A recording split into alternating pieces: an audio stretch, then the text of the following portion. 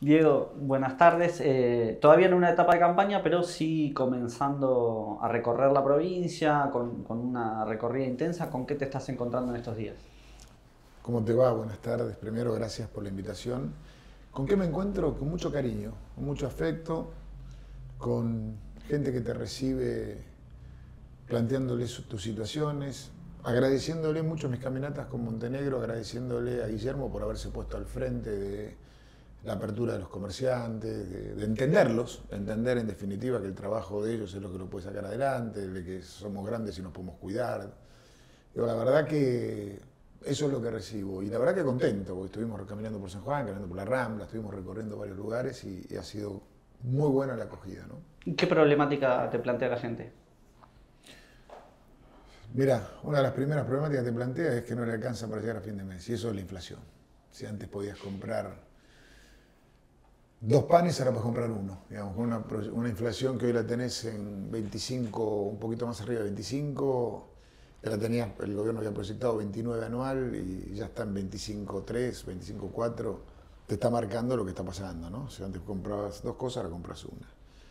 Eh, digo, el miedo a perder el laburo, eso está, está latente en varios, qué va a pasar, cómo sigue. Eh, pero también con muchas ganas. ¿eh? La gente tiene ganas de avanzar, de, superar lo que la pandemia le, trajo, eso es, ¿viste? esa angustia de no poder laburar, de no poder levantar la persiana de su comercio, el tener miedo a contagiarte. Por otro lado, hay un tema que, siento que está ahí, que está ahí y, lo plantea, es eh, el colegio de los chicos. Ahí el colegio de los chicos significa cuál es el futuro de ellos, cuál es el horizonte que van a tener, qué país van a tener. Y ahí está la clave, ¿no? Pero eso lo noto ya en toda la comunidad educativa, lo que lo noto en el papá, la mamá, en los chicos, contentos de volver a tener clases, los docentes que te lo plantean. Entonces ahí hay una mancomunión y hay que sostenerlo, hay que defender la escolaridad, hay que defender la presencialidad.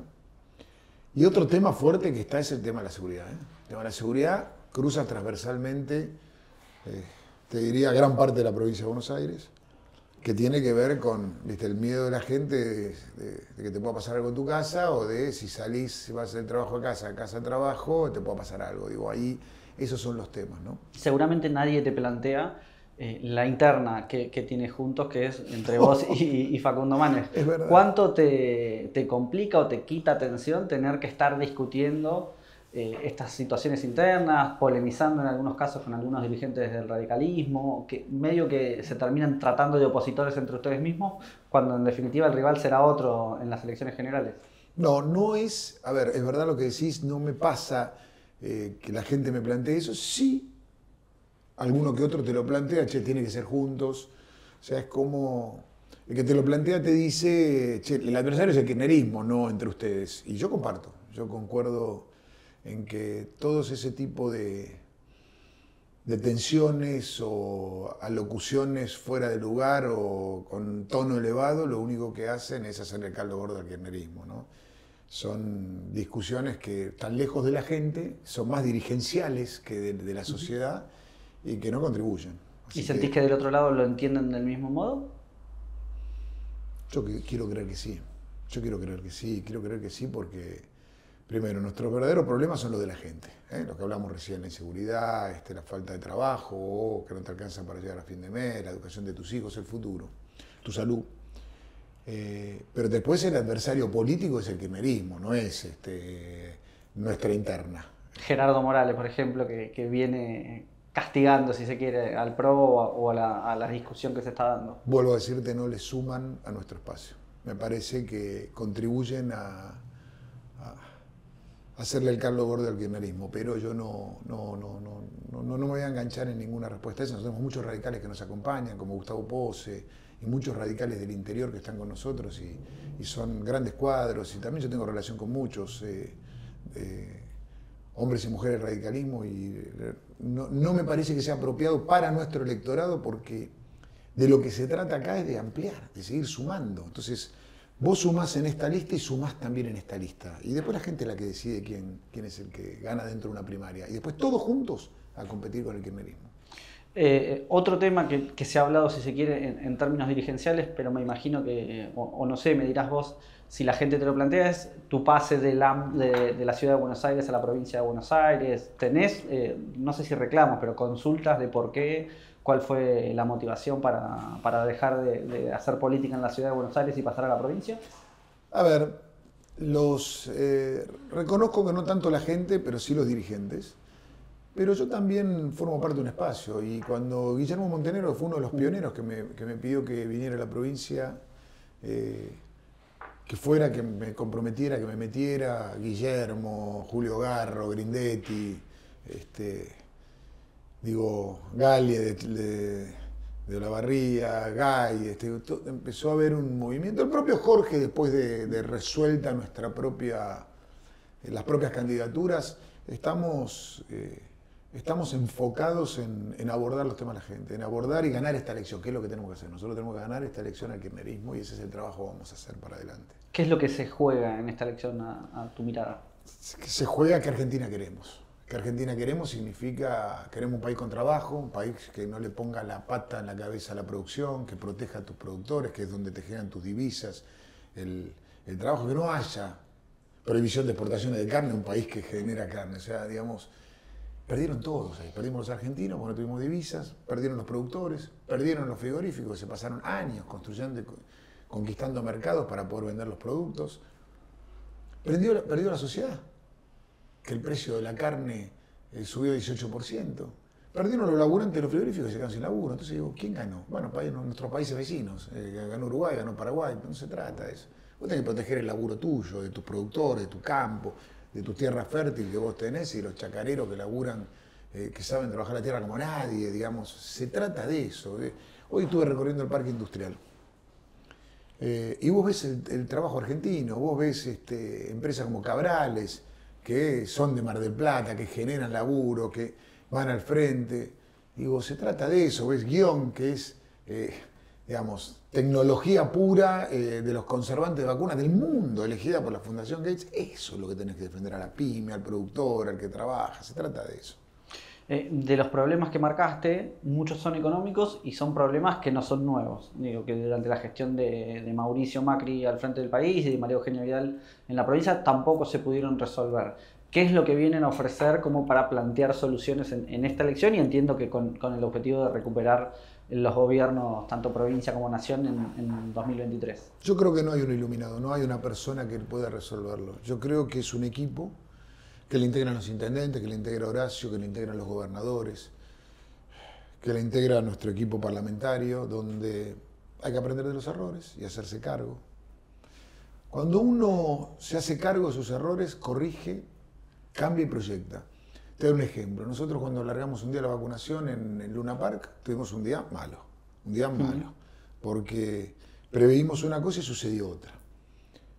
Pero si vos aprendés de ese error, si reconoces que tuviste ese error y aprendés, las cosas no vuelven a suceder. Nunca más pasó.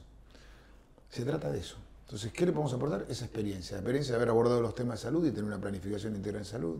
La experiencia de haber abordado los temas de educación y es otra cosa, 11, 12 años después de haber abordado los temas de la seguridad, de haber abordado, hacerse cargo en los temas de seguridad, donde yo cuando me tocó hacerme cargo hace tres años de la seguridad, la gente me decía todo el mundo, los motochorros, Santiago y los motochorros. Escuchamos una moto, entramos en pánico, nos hacemos un costado y eh, se bajan y nos afanan.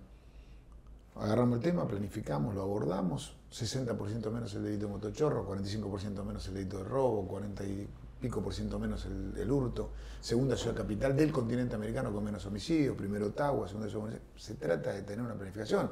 Eso es preparación, formación de los policías, con lo que empecé con Guillermo. Guillermo empezó con el Instituto Superior de Seguridad Pública, porque si vos querés cambiar, tenés que formar mejor y preparar mejor a tus hombres y mujeres. La tecnología, en el siglo en el que vivimos, la tecnología es parte de de la solución, entonces la tecnología amigable que te permita con las cámaras, con saber dónde está cada policía, dónde está cada patrullero, qué están haciendo, con sistemas que ayuden a que vos seas mejor en tu trabajo, es decir, sistemas eh, preventivos, forenses, eh, reconocimiento facial, todo lo que hace una tecnología moderna. Bueno, ahí tenés, ahí tenés la conclusión. Eso es lo que venimos a aportar. En términos de seguridad, que, de inseguridad, que es uno de los principales reclamos, está la idea o, muchas veces planteado que la, policía bonaerense es ingobernable, que es una fuerza de 50, 70 mil personas que es muy difícil de controlar. Primero, ¿cómo evalúas la gestión de Bernie? que tal vez desde lo ideológico no parece distinto a, los lineamientos de Frederick seguramente, incluso el propio gobernador en algunos puntos. Y segundo, si crees efectivamente que es ingobernable o, o necesita cambios muy profundos la policía bonaerense para poder ordenar la seguridad en la provincia. Le reconozco a Bernie su actitud, que se mete en los temas, que empuja. Yo creo que lo que falta es una coordinación entre el gobierno nacional y el provincial, que, pues, parece una cosa de un lado y otra cosa del otro. Entonces vos reconoces al ministro que va, que le pone el cuerpo, que se mete, y por otro lado falta la planificación, ¿no? esa coordinación tan necesaria para abordar eh, esa angustia que, cruza transversalmente a todos. ¿eh? Yo te digo, el que más sufre es el que se toma el bondi a las 5 de la mañana para ir a laburar. Entonces, ese es el, eh, donde vos tenés que llegar. Y ahí falta planificación. Y coherencia. Digo coherencia es, vos tenés un Bernie peleando por los delitos y tenés a alguien liberándolo preso. Entonces, viste, vos decís, pero ¿cómo hace ese ministro? Entonces ahí falta coherencia planificación y coordinación integral. Está claro que eso no, que eso no está funcionando. Te hago la última, Diego. Eh, hoy el presidente eh, anunció algunas modificaciones, algunas flexibilizaciones en términos de, ingreso de, personas al país, de, empezar a habilitar algunas actividades que estaban vedadas a la distancia y con lo complejo que es manejar una pandemia.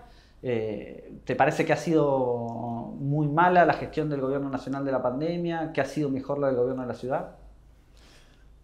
Yo creo que ha sido distante la gente. Cuando los gobernantes están lejos de la gente, las decisiones no son las cercanas, digo. Te lo voy a poner en esta materia. En junio del año pasado nosotros con Horacio empezamos a discutir la apertura porque el comerciante nos decía, che, tengo que llevar el pan a mi casa, tengo que levantar la persiana. Y ahí empezamos con el de la puerta hacia afuera, y empezamos con... Escuchamos a los papás y a la mamá de la comunidad educativa que nos decían, vuelvan a las clases. Tuviste el último trimestre virtualidad y presencialidad y desde el 10, anunciamos en noviembre presencialidad desde el 17 de febrero. Denuncias, nos atacaron, para mí era algo central, pero no es para mí, es lo que te decían los eh, psicopedagogos, lo que te decían los especialistas en educación, lo que te decía la comunidad educativa, los papás y las mamás, los chicos que querían tener relación. Eso es estar cerca. Entonces, cuando las medidas funcionan después, llegan tarde. Y hablan de la ausencia o de la lejanía que vos tuviste. Entonces, yo escucho acá Mar del Plata, después de caminar comerciante por comerciante, largo rato Escucho a los comerciantes diciendo, nos defendió, estuvo al lado nuestros. No se escuchó, no se entendió y confió, porque vos tenés que confiar en que ibas a comprar el protocolo, que los, comerciantes lo iban a hacer, de la manera eh, que lo podían hacer, de la puerta hacia afuera, llevando. Bueno, y Mar del Plata tiene un dígito de desocupación. Cuando Mar del Plata tenía dos dígitos de desocupación. Habla de un intendente que está ahí, de un tipo que escuchó, que laburó. A mí me parece otra cosa es que los argentinos no puedan volver a sus casas, es una cosa, no me parece correcto. No me parece correcto. Me parece correcto que haya que testearlos, que haya que, si fuera caso positivo, tenés una situación, si es negativo hay que hacer el seguimiento. Digo, se trata de eso, se trata de eso. Entonces, ese tipo de cosas cuando llegan tarde, a la gente le duele. Y dejan un daño que el tiempo perdido no sé si lo recuperás. ¿Cómo, ¿Qué le decís al comerciante que bajó la persiana? ¿Qué le decís a esa pyme que hoy ya no está? ¿Qué le decís a esos papás y mamás que sus chicos no tuvieron presencialidad durante un año y medio? No es lo mismo. ¿Qué le decís a esos casi 250.000 chicos que no tuvieron contacto con la escolaridad en la provincia de Buenos Aires? Son 250.000 chicos. Hay que ir a buscarlos. Hay que ir a buscarlos, hay que hacer que vuelvan a las escuelas, hay que, hacer que vuelvan a aprendizaje porque es el único motor de salida que tenemos para adelante salir como país, como sociedad. ¿Y crees que se va a notar en las elecciones, en los resultados, todo esto que marcas? No sé si se va a notar. Yo tengo la esperanza y la confianza de que la gente nos va a acompañar, porque sabe lo que es nuestro trabajo, sabe lo que es el compromiso, lo que es el poner el cuerpo, nos vio en la pandemia y antes de la pandemia poniendo el cuerpo, planificando, estando en los hospitales, en las comisarías, en la calle, eh, acompañando en los centros de testeo, después en los centros de vacunación, estando las 24 horas a disposición y escuchando a nuestra gente. Muchas gracias, Diego. Gracias.